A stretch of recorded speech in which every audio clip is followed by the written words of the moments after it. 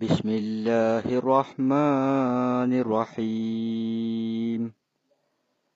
قل أعوذ برب الفلق من شر ما خلق ومن شر غاسق إذا وقب ومن شر النفاثات في العقد ومن شر حاسد إذا حسد. بسم الله الرحمن الرحيم.